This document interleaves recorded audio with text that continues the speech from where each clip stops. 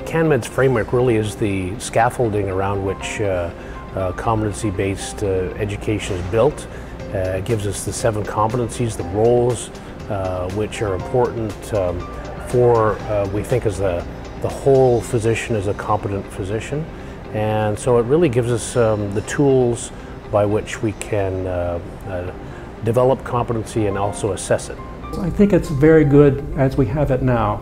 It does need to be tweaked.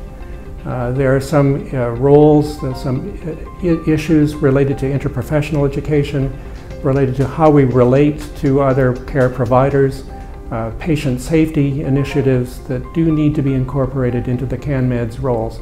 I think we need to make them somewhat more granular for each of the disciplines, less voluminous, but uh, somewhat more specific uh, to the needs of, of each of the specialties and subspecialties at the Royal College.